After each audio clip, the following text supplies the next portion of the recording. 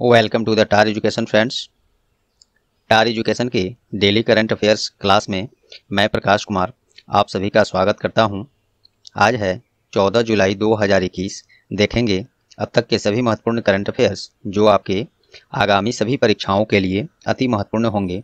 साथ में देखेंगे ज़्यादा से ज़्यादा एक्स्ट्रा फैक्ट्स जो आपको औरों से आगे रखेगा। इस क्लास का पीडीएफ आप टार एजुकेशन के वेबसाइट से डाउनलोड कर सकते हैं, जिसका लिंक डिस्क्रिप्शन बॉक्स में दिया हुआ है। साथ ही आप टार एजुकेशन के सोशल मीडिया प्लेटफॉर्म्स, इन सभी से जुड़ सकते हैं। वहाँ भी आपको सभी लिंक्स नए, पुराने, एक साथ मिलते रहेंगे। प्रश्न हिंदी, इंग्लिश दोनों में है। आपसे आग्रह है कि क्लास पूरा देखें, तभी आपको इस क्लास का महत्व पता चलेगा। और क्लास अच्छा लगे तो प्लीज़ वीडियो को लाइक ज़रूर कर दें।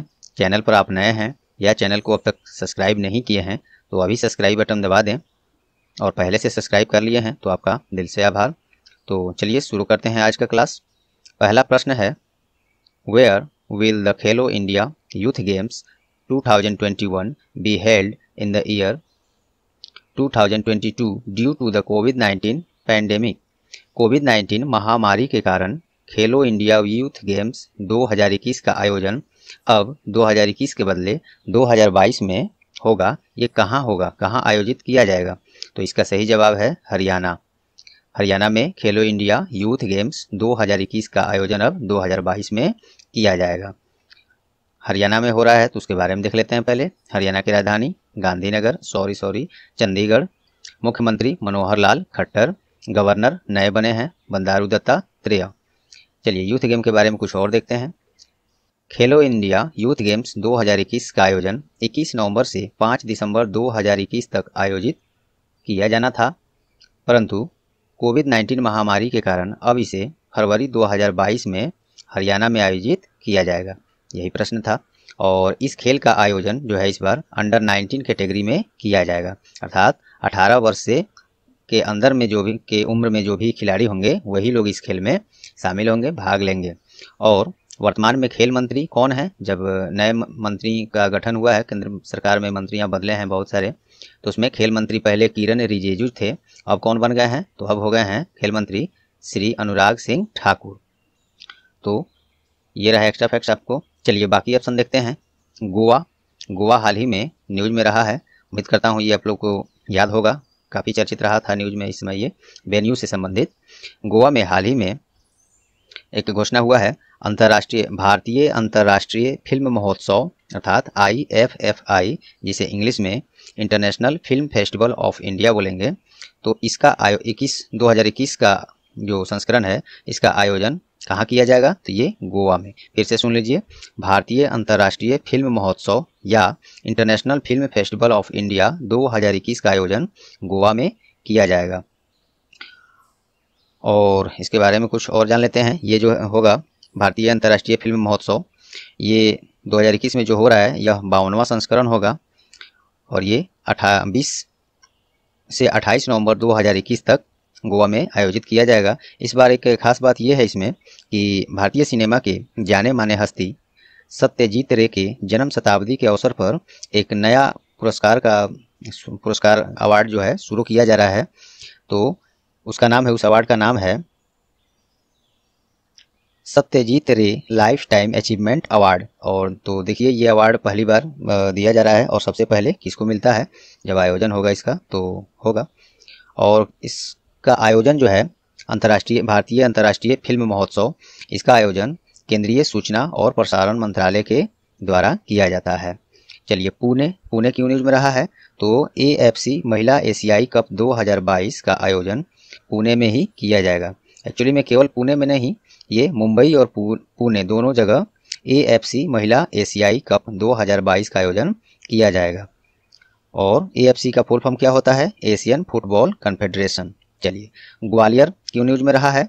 तो हाल ही में केंद्रीय कृषि और किसान कल्याण मंत्री के द्वारा राष्ट्रीय बागवानी बोर्ड केंद्र का उद्घाटन कहाँ किया गया? तो वही ग्वालियर में किया गया, जो कि मध्य प्रदेश में है। और केंद्रीय कृषि और किसान कल्याण मंत्री के द्वारा ये किया गया। तो कौन है अभी? केंद्रीय कृषि कल्याण कृषि और किसान कल्याण मंत्री तो श्री नरेंद्र सिंह तोमर हैं जो कि मंत्रालय नया जो बन, आ, मंत्री जब नए बने हैं उससे पहले भी यही थे अभी भी इनका मंत्रालय इसी विभाग के पास है। तो ये रहा पहले प्रश्न से इतने सारे फैक्ट्स आपके लिए। चलिए अगला प्रश्न देखते हैं। हाल ही में किस पुरुष क्रिकेटर को जून महीने के लिए ICC men's player of the month चुना गया है। जून महीने के लिए ICC men's player of the month चुना गया है। तो सही जवाब है देवोन कॉनवे। देवोन कॉनवे, ये न्यूजीलैंड के ओपनर बल्लेबाज हैं। ओपनर यहाँ मैं नहीं लिखा हूँ, लेकिन मैं जानता हूँ, अलग से भी जानिए। तो देवोन कॉनवे न्यूजीलैंड के बल्लेबाज हैं। और ये तो हो गया पुरुष कैटेगरी में कि ICC men's player of the month जून महीने के लिए कौन है? तो देवोन कॉनवे, न्यूजीलैंड से बैट्समैन है। महिला वर्ग में बात किया जाए तो ICC women's player of the month और जून मंथ के लिए कौन चुनी गई हैं? तो सोफी एक्सलेस टोन, इनको चुना गया है। चलिए, पहले ये देख लेते हैं। क्रिकेट की बात हो रही है तो अंतर्राष्ट्रीय स्तर पर क्रिकेट खेल का आयोजन कौन कराता है? तो ये आईसीसी कराता है और ये रैंकिंग भी आईसीसी के द्वारा ही जारी किया गया है। आईसीसी अर्थात International Cricket Council headquarter Dubai, जो कि संयुक्त अरब अमीरात, अर्थात यूनाइटेड अरब इमिरेट्स का एक शहर है। और इसकी स्थापना 15 जून 1909 को हुआ है। चेयरमैन ग्रेक बार्कले हैं और सीईओ ये मनु साहनी अभी नहीं है। इसको मुझे काट देना चाहिए था। ये जो मनु साहनी हैं एक दो रोज़ पहले सीईओ पद से इस्तीफा दे दिए हैं, क्योंकि इन पर कुछ डिपार्टमेंटल इंक्वायरी चल रहा है किसी कारण बस अब आगे पता चलेगा क्या इनके साथ हुआ है। इन्होंने इस्तीफा दे दिया है तो सीईओ पद का पद, जो है पद जो है आईसीसी में खाली है। वैसे इसमें इसके लिए कार्यकारी सीईओ का नियुक्ति किया गया है आईसीसी के द्वारा वो मैं यहाँ नोट करके नहीं लाया और अभी मुझे ठीक से याद भी नहीं आ रहा है। चलिए अगले क्लास में ऐसा प्रश्न में फिर मैं रिपीट कर दूँगा इसको। चलिए अब बाकी ऑप्शन देख लेते हैं। ये सब क्यों न्यूज़ में रहे हैं? ये कौन है? मुशफिकुर रहीम। ये कौन है? ये न्यूज़ में रहे हैं।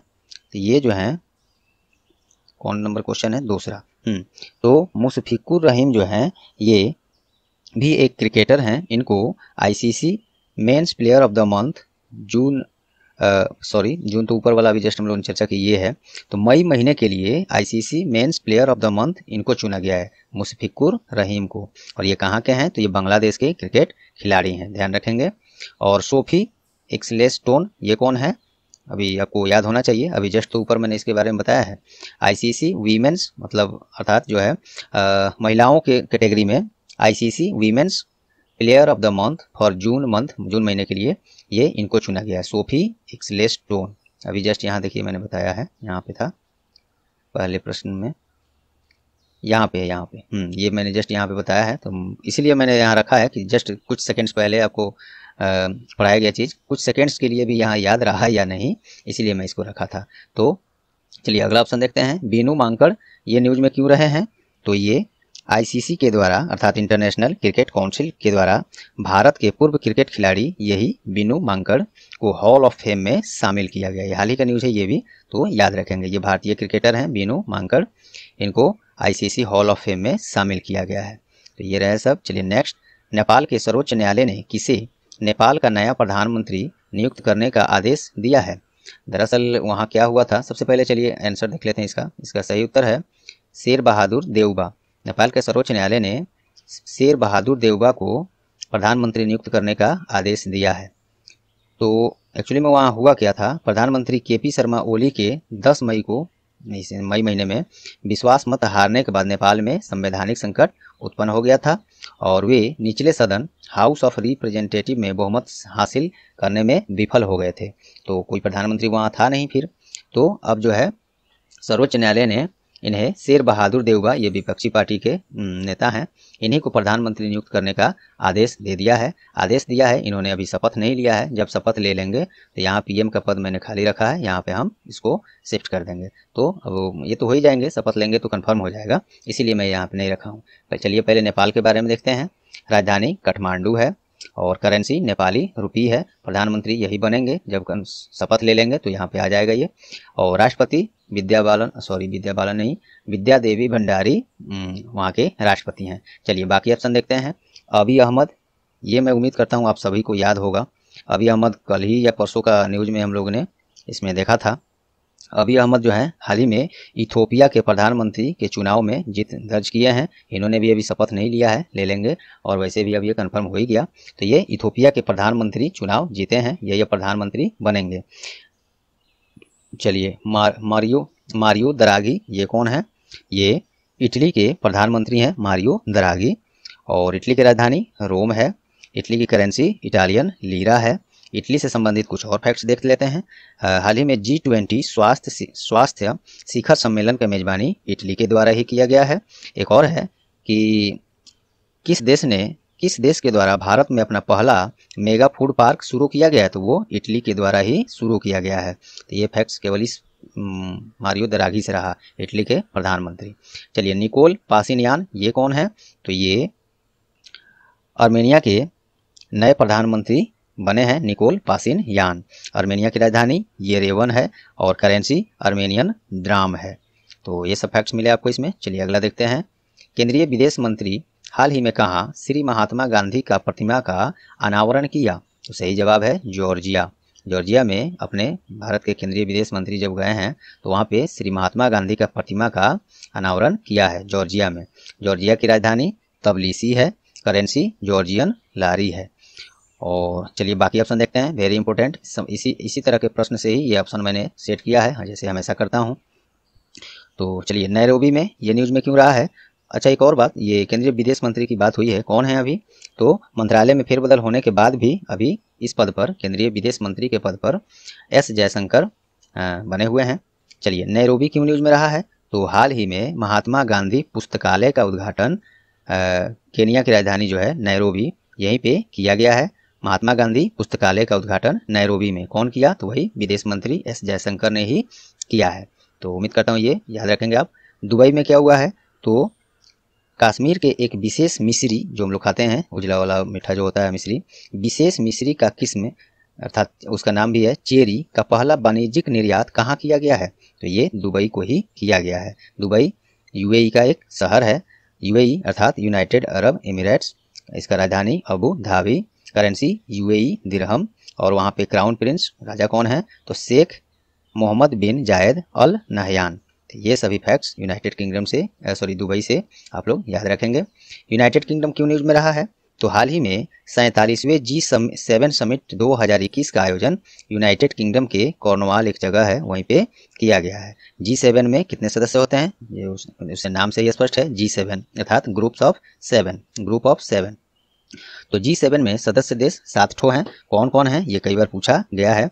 ऑप्शंस में कुछ देश दिया जाएगा और जी सेवन से और कुछ एक ऑप्शन उसमें ऐसा भी रहेगा जिससे संबंधित वो नहीं रहेगा। तो ऐसा पूछा जाता है प्रश्न, मैंने देखा है, पूछा गया है। तो जी सेवन के सदस्य देशों के नाम जान लेते हैं, जिसका जी सेवन समिट 2021 जो सैंतालीसवां संस्करण है, वो यूनाइटेड किंगडम में ही हुआ है। तो जी सेवन के सदस्य देश हैं United Kingdom Canada France, Germany, Italy, Japan और यूनाइटेड स्टेट्स। तो ये सब फैक्ट्स रहे इस प्रश्न से। आइए आगे देखते हैं। अगला प्रश्न है, हाल ही में जारी पुस्तक, पालेकू पता भी सेकम ये थोड़ा साउथ एरिया का रीजन का ये नाम से है ये। पालेकू पटा भी सेकम इनके द्वारा लिखा गया है। तो ये याला मंचीली शिवाजी के द्वारा लिखा गया है। याला मंचीली शिवाजी।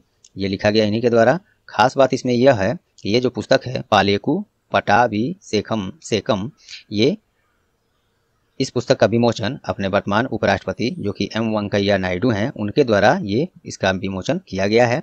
और पालेकु पटाभिषेकम का अर्थ होता है हिंदी में, गाँव में राज्याभिषेक। और एक और बात, एम वेंकैया नायडू तो सबको ही जानते हैं, हम लोग के वर्तमान उपराष्ट्रपति हैं, वाइस प्रेसिडेंट हैं, इनका पूरा नाम क्या है? एम, ये जो यही यही शॉर्ट में है, एम वेंकैया नायडू का पूरा नाम क्या है? क्या किन्हीं को ऑलरेडी पहले से पता है? तो कमेंट में ज़रूर करके बताएँ। चलिए, अगला, बाकी ऑप्शन देखते हैं, बलजीत कौर तुलसी। ये जब पुस्तक से संबंधित प्रश्न है तो बाकी ऑप्शन भी आपको उसी तरह से मिलेंगे जो कहीं ना कहीं कोई पुस्तक लिखे हैं। वो भी पुराने नहीं, आपके हाल फ़िलहाल के करंट में, क्योंकि ये क्लास करंट अफेयर्स का है तो बातें ज़्यादा करंट के ही होंगे, जिससे कि आपका करंट अफेयर्स का टॉपिक्स कंप्लीट हो जाए, अच्छे से एग्ज़ाम्स में इससे आपको लाभ हो। साथ में बाकी एक्स्ट्रा फैक्ट स्टैटिक्स तो हम लोग देखते ही हैं।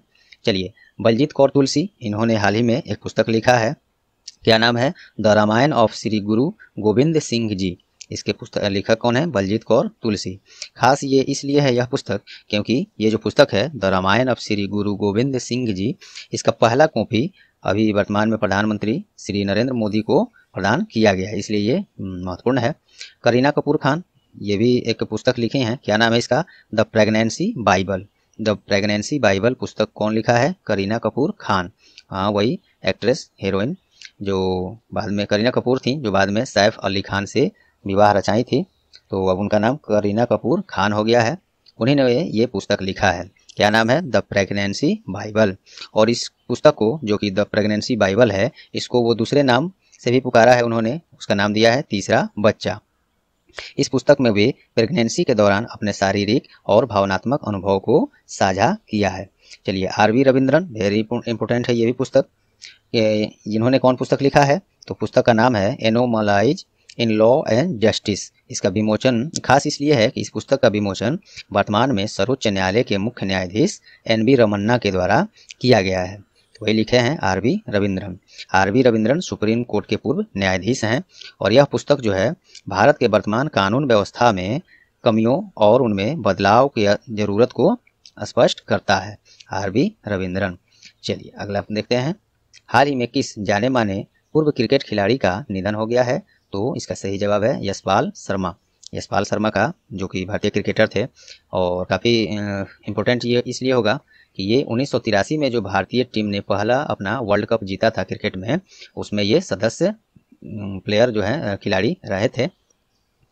और पहले ये देख लेते हैं, भारत में क्रिकेट का आयोजन कौन कराता है, या क्रिकेट खेल का रेगुलेटर कौन होता है तो बीसीसीआई अर्थात board of control for cricket in India इसका स्थापना फोर्थ ऑफ़ दिसंबर 1928 है। प्रेसिडेंट सौरभ गांगुली हैं और सेक्रेटरी इसके जय शाह हैं जो कि वर्तमान गृह मंत्री श्री अमित शाह जी के पुत्र हैं। श्री अमित शाह जो कि गृह मंत्री तो हैं ही आ, खास ये है कि हाल ही में एक नया मंत्रालय बना है। क्या नाम है उसका? सहयोग मंत्रालय या उसको सहकारिता मंत्रालय भी कहा जा रहा है। तो उस नए मंत्रालय का सबसे पहला मंत्री भी अमित शाह जो कि वर्तमान में गृह मंत्री हैं उन्हीं को बनाया गया है। चलिए बाकी ऑप्शन देखते हैं। वीरभद्र सिंह, इनका हाल ही में निधन हुआ है। कौन है ये? तो ये वरिष्ठ कांग्रेसी नेता और हिमाचल प्रदेश के पूर्व मुख्यमंत्री थे। इनका निधन हो गया है वीरभद्र सिंह का। और ये उत्तराखंड सॉरी हिमाचल प्रदेश। हिमाचल प्रदेश, चलिए ये हो गया। पीके वॉरियर, ये इनका भी हाल ही में निधन हो गया है। उम्मीद करता हूँ ये नाम तो बिल्कुल याद होना चाहिए। हमको लगता है कल ही या परसों में ये पढ़ा गया है लास्ट डे के डेली करंट अफेयर क्लास में। पीके वॉरियर पीके वरियर जो है, इनका निधन हुआ है। कौन थे ये? तो जाने माने आयुर्वेद फिजिशियन थे। इनका निधन हो गया है और ये केरल राज्य से संबंध रखते थे। और इनको जो है पीके वरियर को पद्मश्री पद्म विभूषण जैसे पुरस्कारों से सम्मानित किया जा चुका था। दिलीप कुमार, ये तो बिल्कुल याद होगा, अभिनेता थे, हीरो थे। दिलीप कुमार, उनका निधन हाल ही में हो गया है और उन्हें दादा साहब फाल्के पुरस्कार, जो फ़िल्म जगत का सबसे बड़ा पुरस्कार है, दादा साहब फाल्के पुरस्कार, पद्मश्री पद और पद्म विभूषण पद्म विभूषण भी भारत का दूसरा सबसे बड़ा ये पुरस्कार अवार्ड है, क्योंकि पहला भारत रत्न है, तब विभूषण है, तब पद्म भूषण है, तब पद्मश्री होता है। ये सब बड़े बड़े अवार्ड हैं भारत सरकार की तरफ़ से। ये सबसे वो पुरस्कृत किए जा चुके हैं। और दिलीप कुमार का पहला फ़िल्म 1944 में ज्वार भाटा के नाम से आया था। काफ़ी चर्चित रहा था वो फ़िल्म और इनका। चलिए, ये हो ही गया ऑप्शन तो आगे देखते हैं। अगला प्रश्न है। दोस्तों, आज जो है बहुत ज़्यादा करंट अफेयर्स नहीं मिला। दस ही करंट अफेयर्स में यहाँ पे दस बारह हमको लगता है, दस ग्यारह लग रहा है लाए हैं। तो उतना ही क्वेश्चन हम लाए हैं, लेकिन टोटल परीक्षा उपयोगी है। ज़्यादा अवार्ड वार्ड ये करंट अफेयर्स लाने से क्या फ़ायदा? आपका समय जाएगा। हाँ वो कुछ ऐसे भी टॉपिक्स मिल जाते हैं, जो हमको लगता है करंट अफेयर्स नहीं, लेकिन जानकारी के लिए, आपके लिए आवश्यक हो सकता है तो वो मैं ज़रूर ला देता हूँ। तो आज कम ही क्वेश्चंस मैं लाया हूँ, जो कि बहुत महत्वपूर्ण हमको लगे, उतना ही ज़्यादा कुछ नहीं लाए हैं। और एक और कारण था कि हमको अर्ली मॉर्निंग थोड़ा एक जगह निकलना था, जिसके कारण से क्लास में रात में ही अभी रिकॉर्ड करके आप लोग के लिए ये सब अपलोड कर दे रहा हूँ शेड्यूल कर दे रहा हूँ। कल सुबह ये ऑटो अपलोड हो जाएगा यूट्यूब पर आप लोग देख लेंगे। चलिए अगला प्रश्न देखते हैं। हाल ही में कहाँ शोधकर्ताओं को हड़प्पा युग की कलाकृतियाँ प्राप्त हुई हैं? तो ये जलगांव में प्राप्त हुई हैं। हड़प्पा युग की कलाकृतियाँ शोध करते समय मिला है जलगांव में। जलगांव कहाँ है? तो महाराष्ट्र के जलगांव में जलगांव में, महाराष्ट्र में है ये जलगांव। और इसी जलगांव में कुंवारी स्थल पर हड़प्पा युग की कलाकृतियाँ प्राप्त हुई हैं।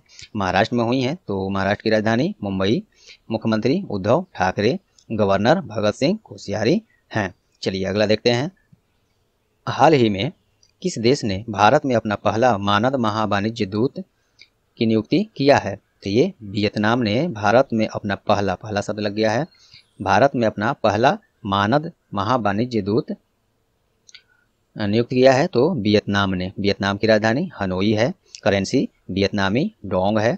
प्रेसिडेंट नुगुयन जुआन हक, या फुक बोल सकते हैं। प्रधानमंत्री फार्म मिंच चिन्ह, सीपीबी। ये तो अजब तरह का नाम है। यही है ये लोग, यहाँ के पद ग्रहण किए हुए हैं। चलिए, अगला देखते हैं। अगला है प्रश्न। हाल ही में किस यूनिवर्सिटी को one district, one green champion Swachhata award प्रदान किया गया है। तो इसका सही जवाब है के एल यूनिवर्सिटी को one district, one green champion Swachhata award दिया गया है। के एल यूनिवर्सिटी, यह पुरस्कार विश्वविद्यालय में विशेष स्वच्छता का पालन करने हेतु प्रदान किया जाता है। और एक और बात, फैक्ट ये है कि कोनेरू लक्ष्मैया लक्ष्मैया एजुकेशन फाउंडेशन था एक फाउंडेशन सोसाइटी था। उसी को जब विश्वविद्यालय का दर्जा मिला तो मिलने के बाद उसे ही के यूनिवर्सिटी के नाम से जाना जाने लगा। और वर्तमान में शिक्षा मंत्री कौन है? तो श्री धर्मेंद्र प्रधान हैं, शिक्षा मंत्री, केंद्रीय शिक्षा मंत्री। चलिए नेक्स्ट देखते हैं। हाल ही में जारी माई श्रीनगर मोबाइल ऐप किनके द्वारा लॉन्च किया गया है? तो ये श्री मनोज सिन्हा। कौन है मनोज सिन्हा? तो जम्मू कश्मीर के उपराज्यपाल हैं श्री मनोज सिन्हा। इस एप्लीकेशन के द्वारा राज्य के लोग अब, लोग और पर्यटकों को राज्य के विभिन्न ई सेवाओं और पर्यटन संबंधी जानकारियाँ ऑफलाइन ऑनलाइन मोड में प्राप्त कर सकते हैं। तो यही काम है इस ऐप का। और लॉन्च किया है श्री मनोज सिन्हा ने, जम्मू कश्मीर के उपराज्यपाल। जम्मू कश्मीर की राजधानी दोठो है, जम्मू विंटर सीज़न के लिए, श्रीनगर समर सीज़न के लिए। अब चलिए क्वेश्चन ऑफ़ द डे देखते हैं आज का। आज का क्वेश्चन ऑफ़ द डे है, हाल ही में किस राज्य ने टू चाइल्ड पॉलिसी जनसंख्या नीति के रूप में टू चाइल्ड पॉलिसी अपनाने का घोषणा किया है? तो इसका सही जवाब आप लोग उम्मीद करता हूँ याद होगा। इसको कल ही तो सुबह में हम लोगों ने पढ़ा है। वेबसाइट पर हम, परसों ही इसको डाल दिए थे। तो इसका जवाब आप लोग कमेंट बॉक्स में अवश्य दें, जिससे पहले पता चले कि आप लोग जो पढ़ रहे हैं, वो याद भी रह रहा है या नहीं। तो चलिए दोस्तों, उम्मीद करता हूँ आज का क्लास परीक्षा उपयोगी आपको लगा होगा। यदि हाँ तो प्लीज़ वीडियो को लाइक कर दें। ज़्यादा से ज़्यादा अन्य दोस्तों ग्रुप्स सोशल मीडिया प्लेटफॉर्म्स पर शेयर करके टार एजुकेशन का सहयोग करें। और चैनल पर आप नए हैं या चैनल को अब तक सब्सक्राइब नहीं किए हैं तो अभी सब्सक्राइब बटन दबा दीजिए। और जो लोग पहले से सब्सक्राइब कर लिए हैं, उनका दिल से आभार और बेल आइकन भी साथ में दबा दें, जिससे आगे आने वाले सभी महत्वपूर्ण करंट अफेयर्स की क्लास और अन्य क्लास के नोटिफिकेशन आपको सबसे पहले मिले। तो ये रहा आज का क्लास चलिए मिलते हैं नेक्स्ट क्लास में। तब तक के लिए good bye all the best